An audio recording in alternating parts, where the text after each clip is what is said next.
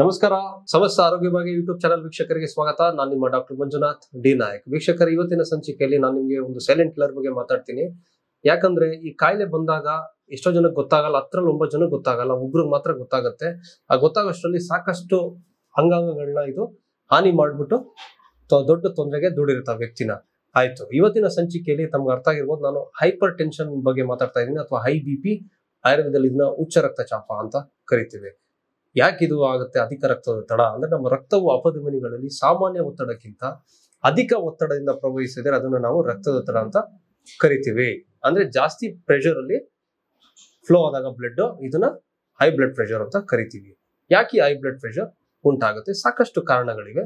ಮೊದಲನೇದು ಬಂದ್ಬಿಟ್ಟು ಕೊಬ್ಬಿನಾಂಶ ಹೆಚ್ಚಾಗಿ ರಕ್ತದಲ್ಲಿ ಕೆಟ್ಟ ಕೊಬ್ಬು ಶೇಖರಣೆ ಆಗೋದ್ರಿಂದ, ಆಮೇಲೆ ರಕ್ತನಾಳಗಳು ಕಿರಿದಾಗೋದ್ರಿಂದ ಮೂರನೇ ಬಂದ್ಬಿಟ್ಟು ಧೂಮಪಾನದಿಂದ ನಾಲ್ಕನೇ ಬಂದ್ಬಿಟ್ಟು ಬೊಜ್ಜುತನದಿಂದ, ಐದನೇದು ಬಂದ್ಬಿಟ್ಟು ಮಾನಸಿಕ ಒತ್ತಡದಿಂದ ಆರನೇ ಬಂದ್ಬಿಟ್ಟು ಅನುವಂಶಿಕವಾಗಿ ಬರುವಂಥದ್ದು ಏಳನೇ ಬಂದ್ಬಿಟ್ಟು ಅಧಿಕವಾಗಿ ಉಪ್ಪನ್ನ ಸೇವನೆ ಮಾಡುವಂಥದ್ದು, ಆಮೇಲೆ ಎಣ್ಣೆಯಲ್ಲಿ ಕರೆದಂತಹ ಪದಾರ್ಥಗಳನ್ನ ತಗೊಳ್ಳೋದ್ರಿಂದನೂ ಕೂಡ ಈ ಒಂದು ಐ ಬಿ ಪಿ ಸಮಸ್ಯೆ ಉಂಟಾಗುತ್ತೆ. ಇದಲ್ಲದೆ ಕೆಲವು ಕಾಯಿಲೆಗಳು, ಉದಾಹರಣೆಗೆ ಹೈಪೋಥೈರಾಯ್ಡಿಸಮ್ ಕೂಡ ಈ ಐ ಬಿ ಪಿ ಸಮಸ್ಯೆಗಳು ಕಾಣಿಸ್ಕೊಳ್ತವೆ. ಆಮೇಲೆ ಕೆಲವು ಟೈಮ್ ಕಿಡ್ನಿಯ ಸಮಸ್ಯೆ ಇದ್ರೂ ಕೂಡ ಬಿ ಪಿ ನಿಯಂತ್ರಣಕ್ಕೆ ಬರೋದಿಲ್ಲ.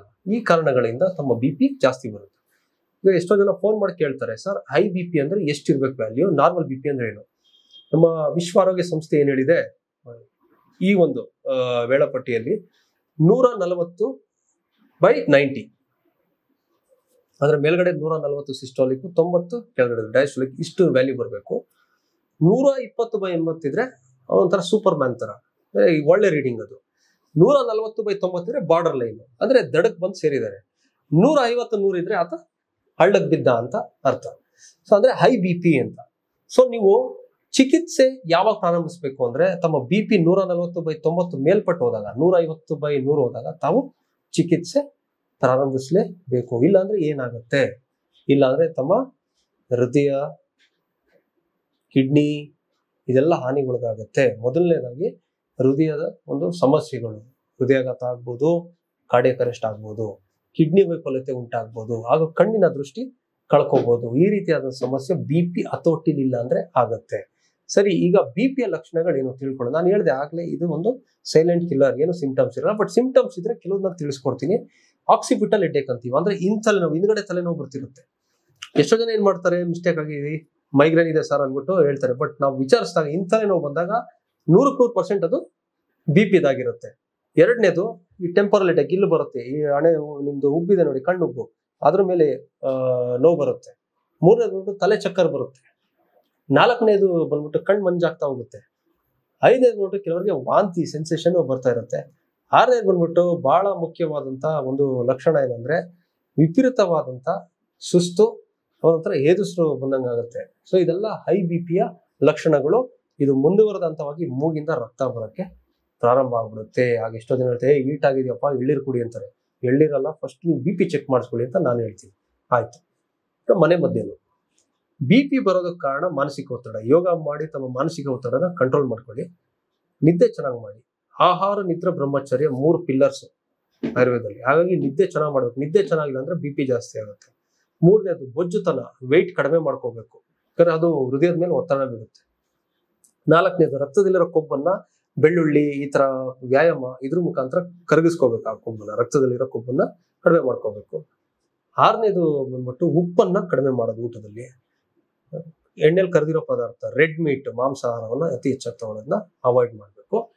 ಇದಲ್ಲದೆ ಎಳ್ಳೀರನ್ನ ಕುಡಿಬೇಕು. ಇದು ಬಿ ಪಿನ ಕಡಿಮೆ ಮಾಡುತ್ತೆ. ಬಾಳೆಹಣ್ಣ ತಗೋಬೇಕು. ಹೆಚ್ಚಾಗಿ ಬೀಟ್ರೂಟ್ ಅನ್ನ ಸೇವನೆ ಮಾಡಬೇಕು. ದಾಳಿಂಬೆ ಹಣ್ಣನ್ನ ಸೇವನೆ ಪೊಟ್ಯಾಷಿಯಂ ರಿಚ್ ಫುಡ್ ತಗೊಂಡಷ್ಟು ಬಿ ಪಿ ಕಡಿಮೆ ಆಗ್ತಾ ಬರುತ್ತೆ. ಇಲ್ಲ ಅಂದ್ರೆ ಬೇರೆ ರೀತಿಯಾದಂತಹ ಸಮಸ್ಯೆಗಳು ಉಂಟಾಗ್ತವೆ. ಕೆಲವರಿಗೆ ಕಿಡ್ನಿ ವೈಫಲ್ಯತೆ ಉಂಟಾಗ್ಬಿಡುತ್ತೆ ಪ್ರೋಟೀನ್ ಲೀಕ್ ಆಗುತ್ತೆ ಯೂರಿನಲ್ಲಿ, ಕಾಲಲ್ಲಿ ಊತ ಬರುತ್ತೆ ಅದರಿಂದ ಸೊ ಸ್ಟ್ರೋಕ್ ಆಗ್ಬಿಡುತ್ತೆ ಬಿ ಪಿ ಕಂಟ್ರೋಲ್ ಇಲ್ಲ ಅಂದ್ರೆ. ಹಾಗಾಗಿ ಬಿ ಪಿ ಬಗ್ಗೆ ಅಸಡ್ಡೆ ಬೇಡ.